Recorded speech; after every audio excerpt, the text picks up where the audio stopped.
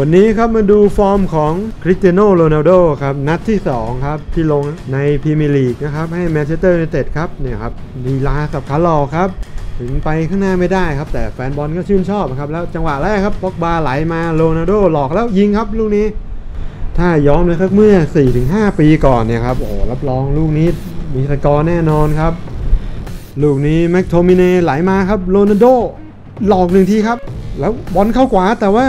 มันไกลตัวเกินไปครับ ลูกนี้ก็เป็นหนึ่งในลูกถนัดของโรนัลโดเลยนะครับ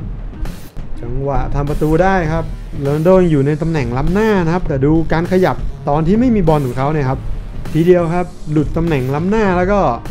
เข้าไปยิงประตูตีเสมอครับ ให้ยูไนเต็ดได้สำเร็จนะครับยูไนเต็ดต้องการกองหน้าแบบนี้แหละครับ จังหวะนี้ครับเนี่ยครับกีนวูดเลี้ยงมาตบตาโรนัลโดนิดนึงครับ โรนัลโดก่อนหน้านี้ยังวิ่งเมื่อเมื่อเผลออยู่เลยครับ แต่ว่าพอทำมิ่งมันได้เนี่ยครับโรนัลโดสับตีนแตกนะครับกรีนวูดก็ไหลให้ได้จังหวะพอดีครับ แต่ว่าลูกเนี้ยมุมมันก็แคบไปหน่อยครับ ไม่ผ่านมือฟาเบียนกี้นะครับ